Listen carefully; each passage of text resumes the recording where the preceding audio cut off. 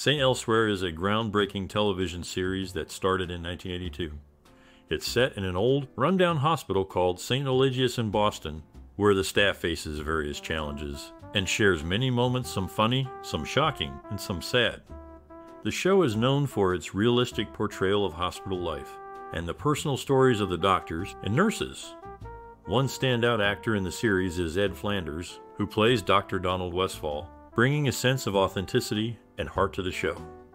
As for favorite roles, Howie Mandel's character, Dr. Wayne Fiscus, adds a touch of humor to the often serious atmosphere of the hospital. Now, we're curious about your connection to St. Elsewhere. What is your most treasured memory or personal experience related to this series? Your stories and memories are important to us, and we'd love to hear them in the comments below. Keep watching for more surprising facts about this beloved series. Most important tool? After his mind, of course. The TV series St. Elsewhere was a medical drama that aired in the early 1980s. It was well received for its realistic portrayal of hospital life and its mix of humor with serious topics. The show was known for its attention to detail and the depth of its characters. It influenced other medical dramas that came after it. The series also had a significant effect on popular culture. It introduced viewers to a new kind of medical drama, one that was more personal and emotional. The characters and their stories stayed with viewers even after the show ended. Following the success of St. Elsewhere, there were several products and adaptations. These included books and other items that fans could buy to remember the show. The series also led to other TV shows that tried to capture the same feeling and depth of St. Elsewhere. Overall, St. Elsewhere left a lasting mark on television. It changed the way medical dramas were made and is still remembered today for its unique approach to storytelling. Lanton IV before the arrest. Can you tell us something about the injection of that drug? Well, too rapid an injection. In a dramatic turn of events, the show concluded with a twist that left audiences stunned, setting a precedent for future series. This unexpected ending was later mirrored in another show produced by the same company. Meanwhile, in a heartfelt attempt to lift the spirits of a wounded colleague, two characters resort to a comedic act involving inflated surgical gloves, referencing a similar act made popular by a cast member on a different show. Additionally, a remarkable coincidence links two actors who not only share the screen but also celebrate their birthdays on the same day. Christopher, I won't let you down. Petey! In the landscape of television dramas, experience and youth often work hand in hand. This was evident when Norman Lloyd, the senior member of the cast, brought his wealth of acting experience to a prominent medical drama series. At the same time, he juggled responsibilities as a producer for another show, showcasing his ability to handle multiple roles in the industry. Meanwhile, William Daniels became a familiar face to audiences through his portrayal of a dedicated doctor, a role that later led him to be recognized for his work in educational family shows, connecting with a new generation of viewers. Well, I don't want my granddaughter spoon-fed, preachy pablum. Just sets her up for a big letdown. Yeah. In a memorable scene, William Daniels, portraying Dr. Craig, found himself in Philadelphia, where he was moved to sing lines from Sit Down, John, a nod to his role in the musical 1776. This heartfelt moment was seamlessly woven into the storyline. Legal challenges arose when a real life company saw too much of itself in the fictional Ecumena that acquired St. Eligius, leading to a name change and disclaimers in subsequent episodes. Alfre Woodard's portrayal of Dr. Roxanne Turner left a lasting impression, and she later reprised a version of this role, showcasing the enduring connections between characters and the shared creative minds behind the scenes. We thought we'd get you out of here, take you to lunch or something. Oh, good. Wonderful. Tell me. In the world of television dramas, the presence of a strong ensemble cast often means that not all actors will feature in every episode. Such was the case with Norman Lloyd, who, despite the large cast and complex production, became a regular from the second season onward. His portrayal of Dr. Daniel Auschlander was initially intended for a short arc of four episodes. However, the character resonated so well with audiences that Lloyd remained on board for the entire six seasons, contributing significantly to the show's narrative until its conclusion. Helen Hunt, another notable actor, brought her rich family heritage to the series.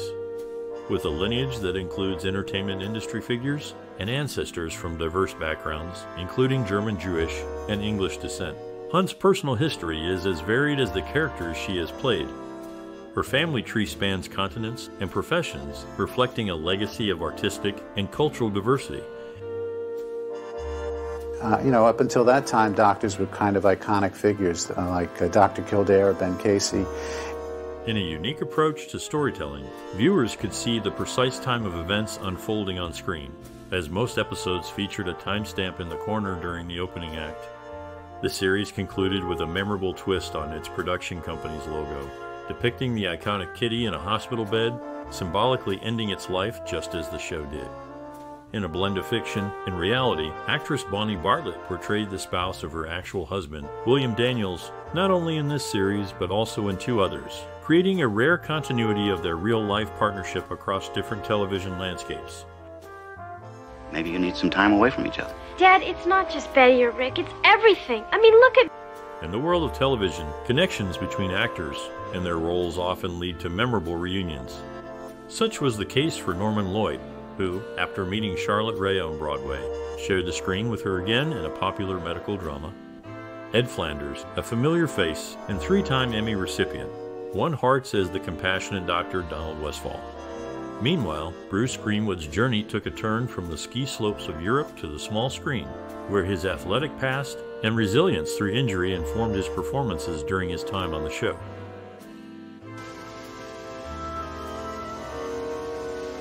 More brandy? In the world of television, contrasting work ethics and backgrounds often converge. William Daniels, a seasoned theater actor, was known for his discipline and quick line memorization. In contrast, his co star Ed Begley Jr., with a background in film, struggled with punctuality and line learning. The role of Donald Westphall, which became synonymous with Ed Flanders, could have had a different portrayal had Hal Linden accepted the offer to play the character. Meanwhile, Bruce Greenwood, despite initially declining a significant role due to scheduling conflicts with a film project, managed to juggle both commitments, allowing him to participate in the series while completing the movie.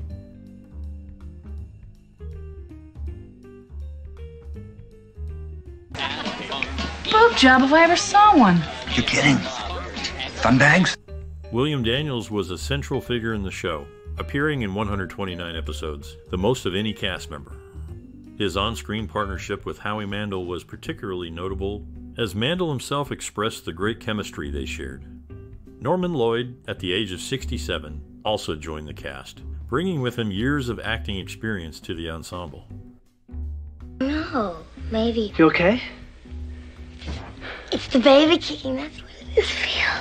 In the backdrop of a bustling city, the opening sequence of a popular show featured the Orange Line train of Boston's public transit system. As the series progressed, this train was rerouted underground, rendering its previous depiction outdated. The show had a personal touch, with the names of doctors announced over the hospital's public address system, often being those of relatives and acquaintances of the cast and crew. For instance, Dr. Gwyneth Paltrow was mentioned, connecting to the series' executive producer Bruce Paltrow. Off screen, the camaraderie was strong, with Norman Lloyd maintaining lasting friendships with fellow actors Howie Mandel and David Morse, showcasing a bond that extended beyond the screen. And then to see him a year or so later. Leading an active life. In the world of television dramas, connections between actors and their roles often extend beyond the screen. Ed Flanders, known for his compelling performances, crossed paths with Christina Pickles at the University of Michigan Ann Arbor, setting the stage for their future on screen chemistry. Their eventual collaboration brought depth to the medical drama that captivated viewers. Meanwhile, Mark Harmon's departure from the show was as dramatic as his on screen persona, Dr. Caldwell, who faced a life altering diagnosis of AIDS, reflecting the era's growing awareness of the condition. Off screen, the bond between William Daniels and Bonnie Bartlett mirrored their characters' connection, as the couple's real life marriage added an authentic layer to their portrayals. These elements combined to create a show that resonated with audiences, offering a glimpse into the personal and professional lives of those within a bustling hospital setting. Expected. I stayed late to tuck him in. You know the reason I volunteered today. William Daniels, a key cast member, balanced his role on this show with voice acting for Ascension Car in another series, recording his lines during breaks. His connection to the show was deepened through a personal relationship with Ed Begley Jr.'s family, which predated their shared screen time by many years. The show also mirrored real life events. It referenced the dismantling of the Washington Street elevated train line, which had already been decommissioned and replaced by the Southwest Corridor by the time the episode aired. This attention to detail added a layer of authenticity to the show's setting. Why, Elliot's here. Gosh, no! Let me see if I can go outside. At a social gathering, Norman Lloyd was offered a significant role in a new medical drama by Bruce Paltrow, the head of MTM Productions. Initially, Lloyd's character, Dr. Daniel Auschlander, was to appear in just a few episodes, but his involvement expanded to the entire series. The show was presented to NBC with the concept of being a medical version of the popular police drama Hill Street Blues. Additionally, Arthur Taxier took on the role of Dr. Morton Chegley, sharing a name with a character portrayed by Lloyd Nolan in an earlier series. Julia? Riot broke out. The inmates went crazy. I should have been stronger. In the finale, viewers found a clever layer of humor with nods to the creators through a character named after them and a playful homage to the fugitive. The episode also included a humorous directive to move the gurney, Hal tipping its hat to a well known television director. A decade after meeting on the set of a historical musical, William Daniels reunited with Bruce Paltrow and Blythe Danner in their medical drama. Meanwhile, Chad Allen's portrayal of Tommy Westphall evolved from a supporting role to a pivotal figure, culminating in a twist that suggested the entire series was a figment of his character's imagination. This revelation sparked the Tommy Westphall universe hypothesis, linking the show to a vast network of series through crossovers and references, thus expanding its influence across the television landscape.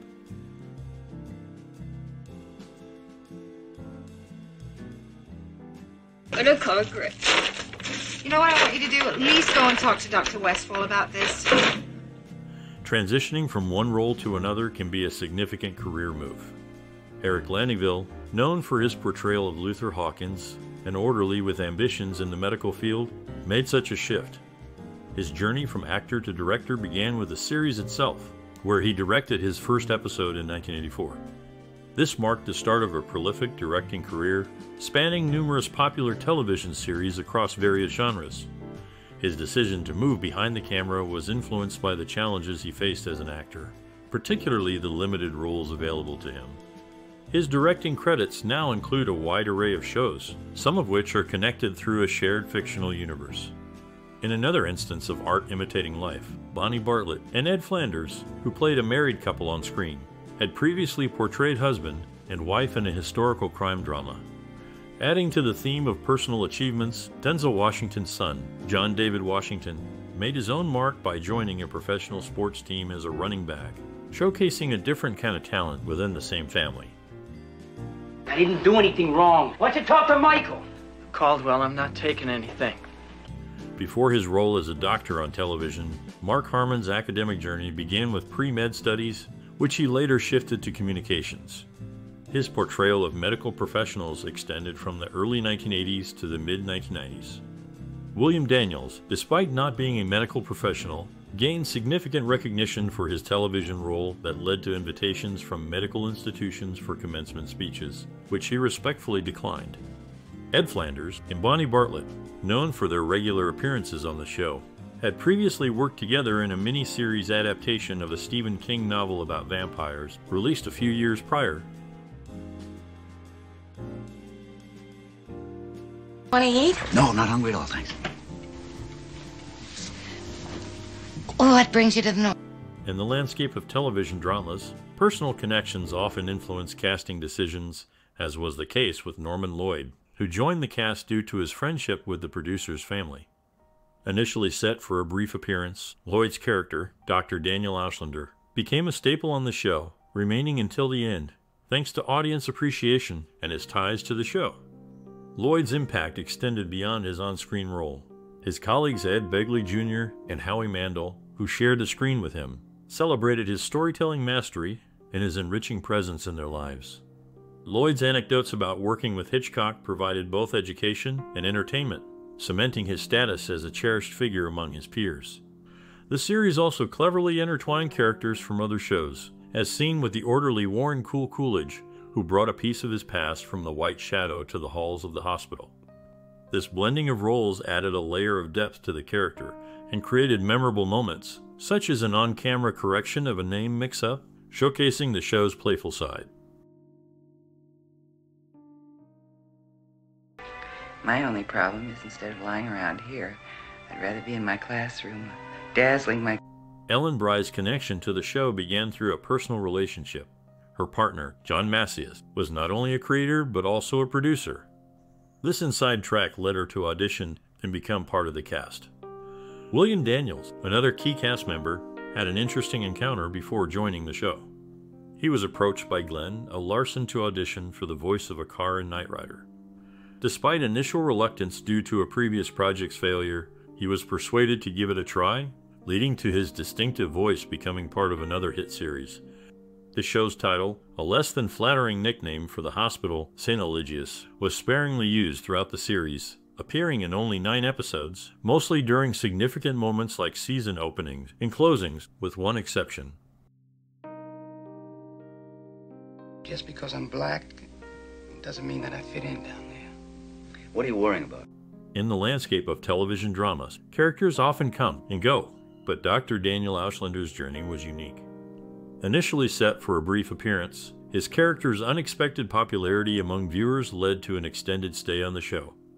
This change gave the actor, Norman Lloyd, a chance to explore the role in depth over several seasons. Ed Flanders, another key cast member, was notable for his consistent presence, missing only one episode throughout the show's run.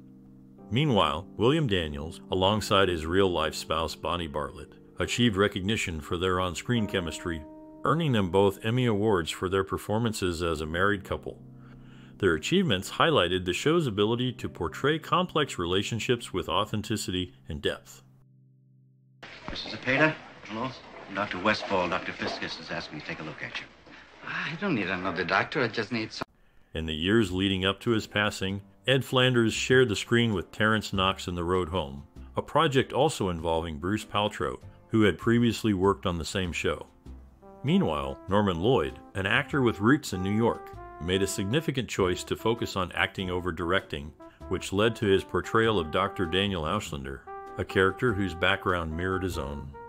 This character became a familiar face to audiences, embodying the essence of the actor's own heritage. And sort of proposed to him that doing a, a, television show that took place in a teaching hospital, and it was Grant. In the bustling world of television production, the challenges of managing a large cast often lead to notable absences.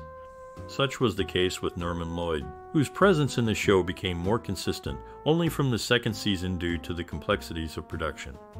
Meanwhile, Ed Flanders faced a turbulent journey with personal issues affecting professional relationships ultimately resulting in his departure at the close of the fifth season, though he returned for a brief appearance in the final episodes.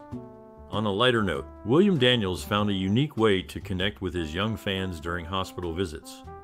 While his role as a doctor wasn't the main attraction, his voice work as the beloved Car TT from Knight Rider brought joy to many, showcasing the unexpected ways actors can leave a lasting impression beyond their on screen characters.